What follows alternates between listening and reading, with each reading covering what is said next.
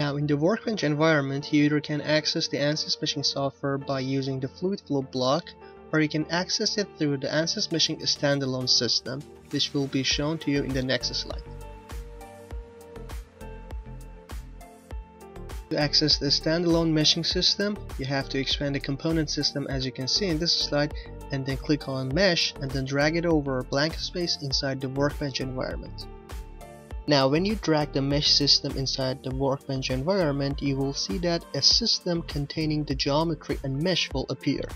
Now before clicking on geometry to draw the related geometry and then continuing to the mesh section, we can simply select the units that we want to draw our geometry in using the unit in the workbench environment.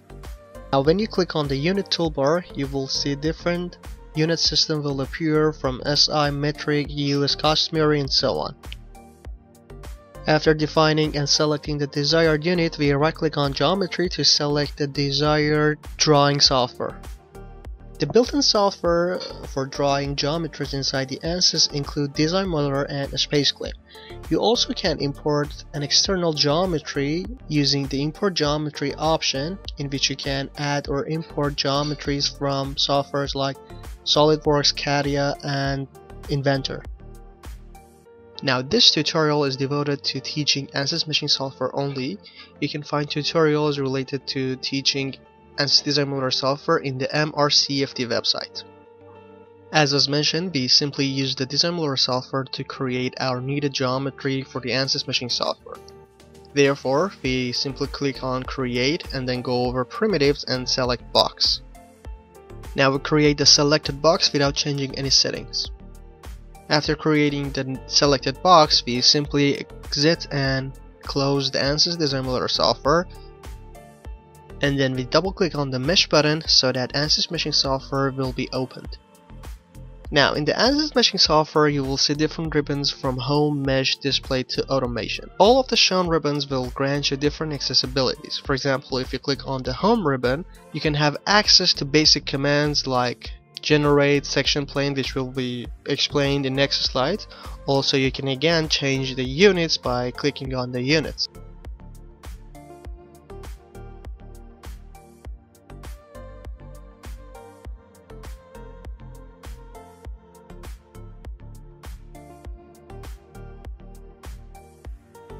If you click on the mesh ribbon, you can see different settings related to mesh generation.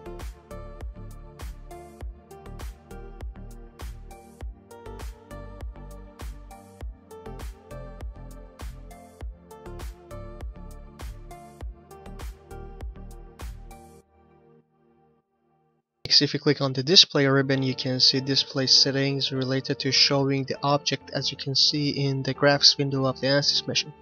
For example, if I click on the show command, you can visualize different options and toolbars. Just like the previous toolbars and ribbons, if you click on selection and automation toolbars, you will see different settings. Also, if you click on the options as you saw in the previous slide, a new window will appear showing you detailed settings related to the ANSYS meshing software itself, which will be explained in next sessions. Also, you can access to help documentation of the ANSYS meshing software by simply clicking on help button. Also, there are some basic options and commands that you can use to change the viewpoint from which you are seeing your geometry. For example, if I click on the rotate command, I can easily change the view and rotate the body. Next option would be pan, meaning that you can simply click on it and then click on your object to change its location in the graphics window.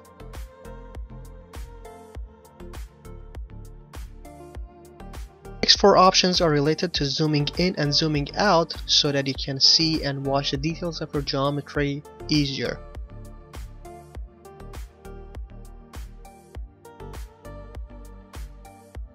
Example, the third command is the zoom to fit option. If you click on it, you will see the software will automatically zoom out so that the extents of your geometry will completely be placed and fitted inside the graphics window.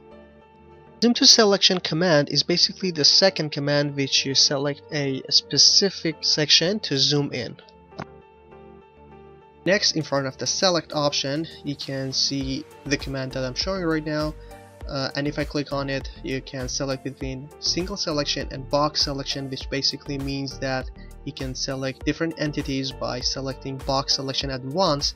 And if you select the single selection, you can only select one entity at a time.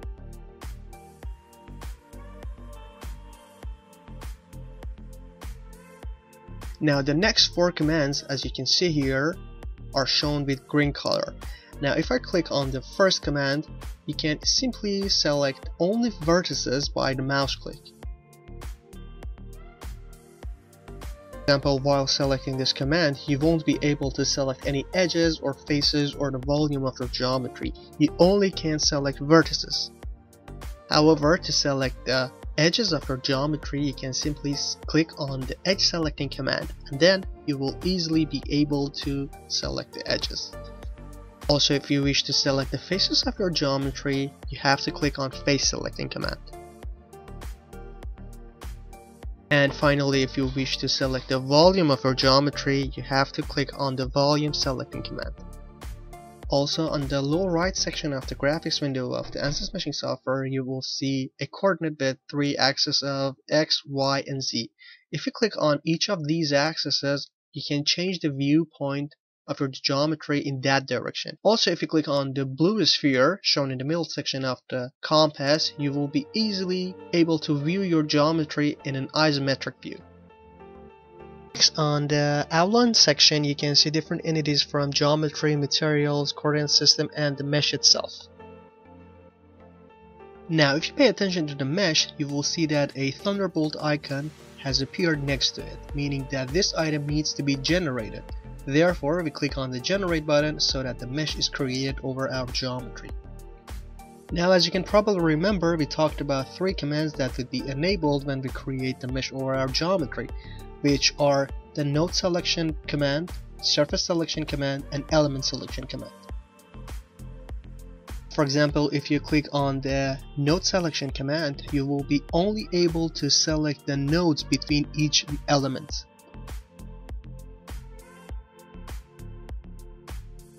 However, if you click on the element surface command, you can select the surface of each element. And finally, as you probably guessed, if you click on the element selection command, you can select each element separately. Also, if you click on each of the entities shown under the outline section, its details will appear underneath it. For example, if you click on the geometry underneath it under the details of geometry under definition in front of the source, you can see the file's location or under the type you can see with what software this geometry has been drawn or as for the length unit you can see we have selected the meters unit inside the design modeler software as the unit we are drawing our geometry with.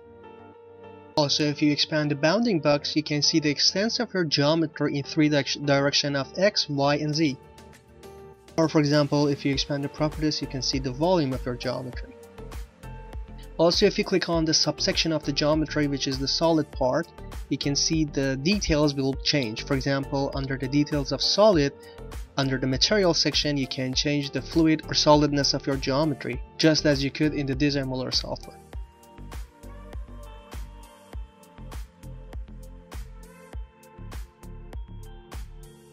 There are also some similar details shown here, for example if you expand the bounding box, the same settings will appear as the geometry setting. Just as was explained, if you click on the mesh entity, you can see the details section will change. Now the details shown here are the global settings that would be applied over the geometry for mesh generation. You can also add or define some customized commands or local commands by simply right clicking on mesh, going over insert and then selecting different commands shown here which you can use to create customized mesh over your geometry. As for the local commands shown here, they will be explained in the upcoming slides. Now after clicking on the mesh entity, the details of the mesh section will change. These details include display, default, sizing, quality, and so on, each of which will be explained step by step.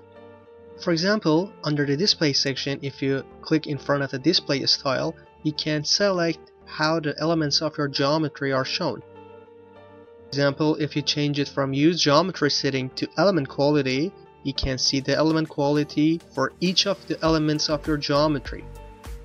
Now, because all of the generated elements for this geometry are in the cubic form, they all have element quality equal to 1. Or for example, if you change it to aspect ratio, you will see the value of the aspect ratio for each element is equal to 1.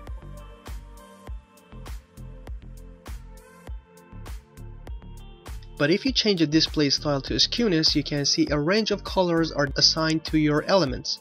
However, if you pay attention to the values shown here, you can see the representing values for each color has a very small value which is almost equal to zero. However, there are some bugs in this software which prevents the correct color range to be shown. The Ansys Meshing software is a very intelligent software that is capable of creating mesh over your geometry for different physics.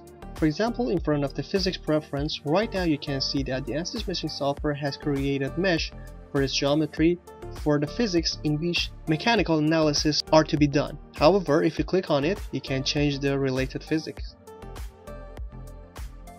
As you click on it, you can see different physics are shown here, from mechanical, nonlinear, mechanical, electromagnetic, CFD, explicit, and hydrodynamics. By clicking on each of these shown physics, the settings for generating mesh will be changed and will differ. Now because the Ansys meshing software is generally used for creating mesh for CFD related physics, we use the CFD and continue with instructing the details related to this physics. As you change the physics preference to CFD, you can see some new settings will appear. For example, you can see underneath it the solver preference is selected as default to be fluent. However, you can change it to other softwares like CFX or Polyflow.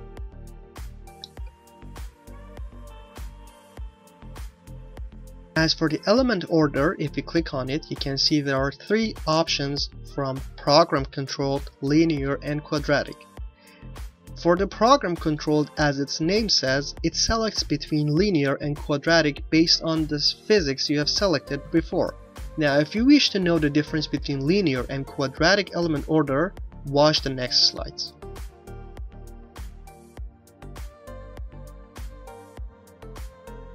Now to understand the difference between linear and quadratic element order, we first select linear and then click on generate mesh. After the mesh was generated, we click on the node selecting command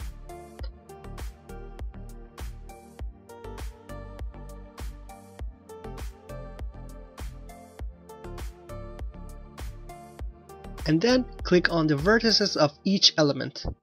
If you pay attention, you can only click and select the vertices of element and no other node can be selected between these two vertices. However, if you change the element order to quadratic and then click on generate mesh, then you will be able to select nodes between each vertices for each element.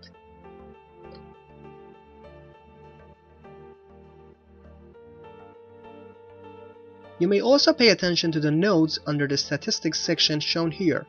When we select the linear element order for our geometry, you can see the number of nodes is equal to 2197. But when we change it to quadratic, you can see this value changes. Now changing the element order from linear to quadratic has the pros of increasing the precision of our calculation. But this pros comes with the cons of increasing the computational cost for our calculation.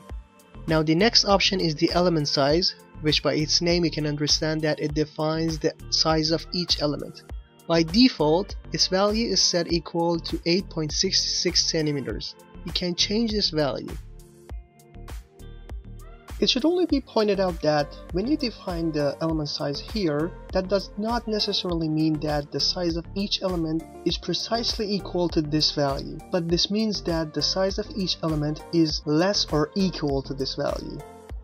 For example, in order to calculate the difference and length between two nodes of an element, we select the element selecting command and then select two elements that are placed next to each other.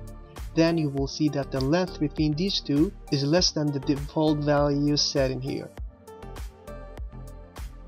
For example, if you select the two nodes shown here, you can see the distance between them is equal to 8.33 centimeters, while the default value for the element size is equal to 8.66 centimeters. Now let's change the element size and see how it affects the distance or length between two consecutive nodes. For example, you can see here that we have changed the element size to 4 centimeters. Now if we do the same and select the node selecting command and select two consecutive nodes on our geometry, you will see that the distance between them is exactly equal to 4 centimeters, meaning that the element size can be less or equal to the element size value that we define under the default section.